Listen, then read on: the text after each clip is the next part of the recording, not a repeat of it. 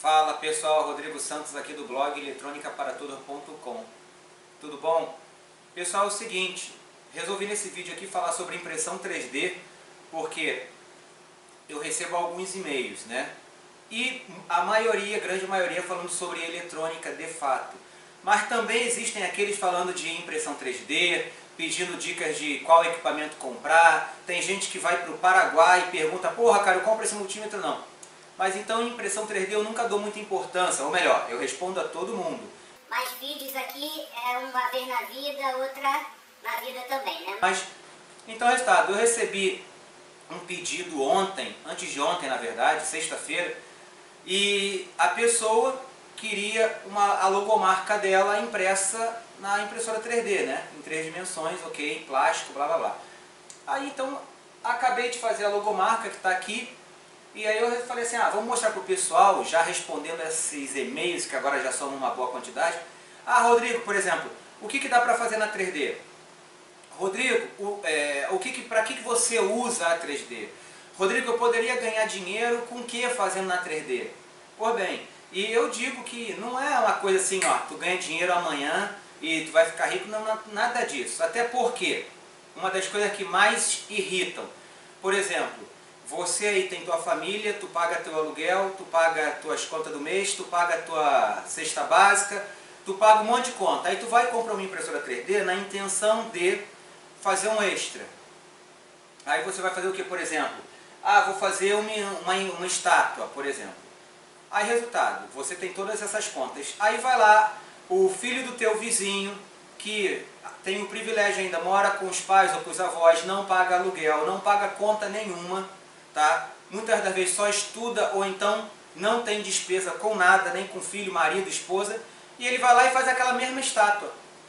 Ele compra a impressora 3D dele e faz a mesma estátua. Aí você precisa saber precificar a coisa. E você não vai precificar nem a mais, nem de menos. Né? Você sabe que tem que cobrar o preço justo. Moral da história é que eu já me deparei muitas vezes nesses dois anos aí dessa máquina 3D que está aqui atrás de mim, que eu vou mostrar para vocês. A Ender 3 o cara que não tem conta nenhuma, ele vai lá na internet, pega o arquivo, imprime e vê, ah, quanto é? Ah, 20 reais. Uma coisa que demorou 4, 5, 6, 8 horas para imprimir, que gasta um filamento caro, ele vai lá e bota um preço três vezes menor do que o teu, do que o preço correto. Mas por quê? Porque para ele é meio que uma diversão, é um hobby. Ele não compra nem o filamento dele. Ele não tem despesa, entendeu? Ele não tem custo. Se ele não tem custo, para ele vender é lucro e qualquer coisa que entre está bacana. E aí o que, que acontece?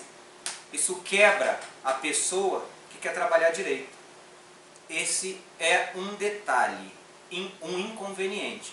Mas dá para ganhar dinheiro com a empresa 3D? Eu vou falar para vocês, deve dar. Agora, eu não conheço perto de mim, próximo de mim, não tem ninguém que fala assim, ó, eu estou aí com uma máquina fazendo dinheiro. Na verdade, o que eu escuto é, e nem próximo a mim, tem uma farm, chamado o quê? O cara tem 10 impressoras 3D, 15, 20, uma sala inteira, é uma mini fábrica de peças. Tá? Ou então, tem um cara que sobrevive aqui que eu conheço, que é o seguinte, ele imprime peças para carros antigos. Corcel, Fusca, Opala, entendeu? Aquela Caravan Commodoro, peças ele imprime ali na 3D, porque nem se vende mais, nem se encontra com facilidade mais essas peças, então ele faz sob medida, aí sim ele pode cobrar um preço bacana, porque é um trabalho muito exclusivo. E nem todo mundo está afim de fazer aquele trabalho. Por quê? Porque muitas das pessoas que vendem imagem pronta conseguem o arquivo grátis na internet.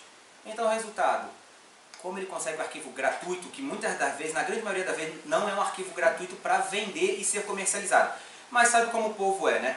Vai lá e comercializa, faz um troco em cima. Agora, para quem aprende a modelar, tá? seja no software gráfico, Fusion 360, é, mas qual? No SolidWorks e muitos Autodesk, AutoCAD, enfim, aí sim você começa a falar que começa a trilhar um caminho diferente. Não ser só apenas um imprime peça, imprime peça, imprime peça.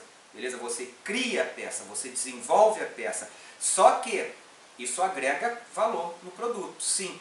Mas isso aí você também tem que cobrar mais caro para o cliente. Ah, Rodrigo, é, porque você vai... Ah, eu, quero isso para o meu carro assim, nesse formato. Não existe lugar nenhum. Você vai desenvolver, você vai desenhar em três dimensões aquela peça. Então isso aí agrega valor também.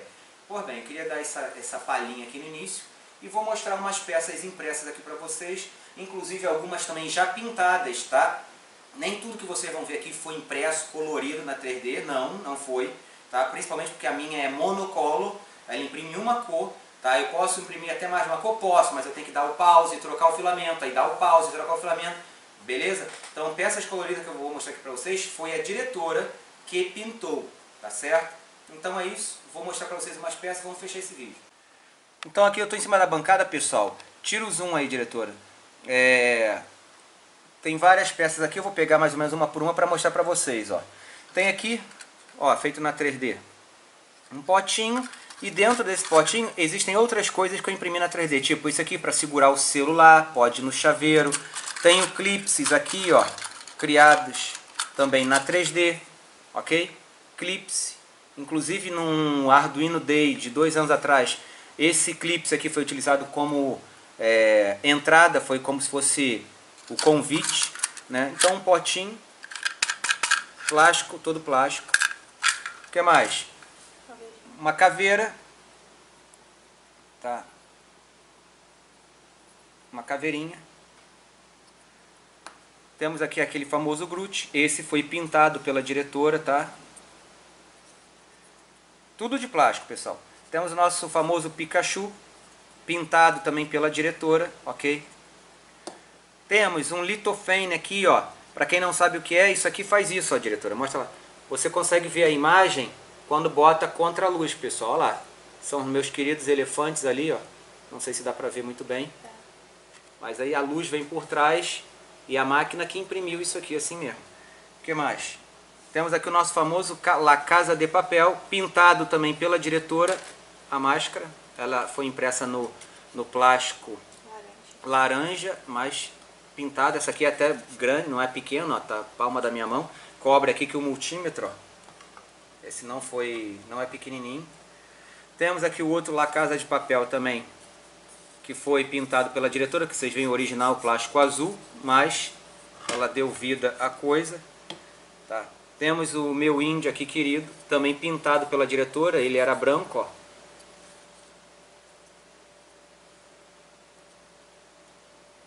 Temos esse outro que eu fiz há pouco tempo, eu tinha feito um, mas esse aqui é um segundo.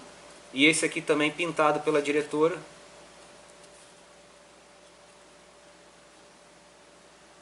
Tenho aqui ó, o Super Mario. São duas peças, ok? Ele está preso aqui nessa, mas eu imprimi separado a base e o Mario, também pintado pela diretora. Tenho aqui o que muitos perguntam, o que, que é isso, Rodrigo? Né? É o dobrador de resistor, ok? A gente pega lá o componente e tal, bota aqui. Cadê? É que esse aqui já está dobrado, mas só para ter uma ideia. A gente bota o componente aqui e dobra os terminais dele de vários tamanhos. Tá? Uma peça mecânica, né? Tem um outro aqui que também serve para dobrar transistor e tudo. Tem aqui uma ferramenta que eu fiz, essa, para regular o osciloscópio que é uma peça plástica, já que o osciloscópio não suporta, não, não é bom mexer com metal para não dar interferência, então é uma chave de fenda e aí é de plástico, ou seja, não causa interferência. Essa outra pinça, né, para poder pegar componente que cai dentro de circuito eletrônico, ou seja, ela é de plástico, ou seja, ela não é condutora. Temos um outro Pikachu aqui low poly, low poly porque ele é todo facetado, né, como fosse quadriculado. Temos aqui os Angry Bird, todos esses pintados pela diretora, tá?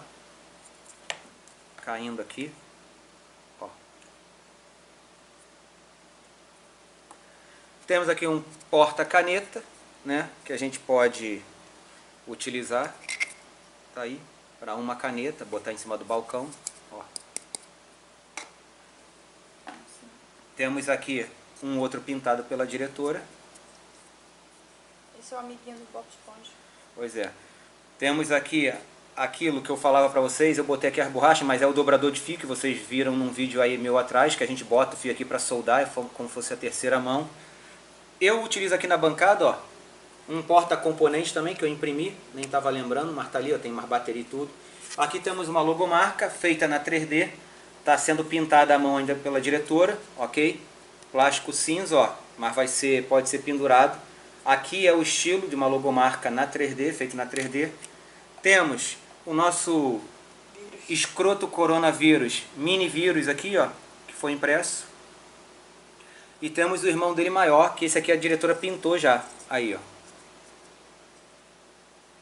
O bosta coronavírus, tá?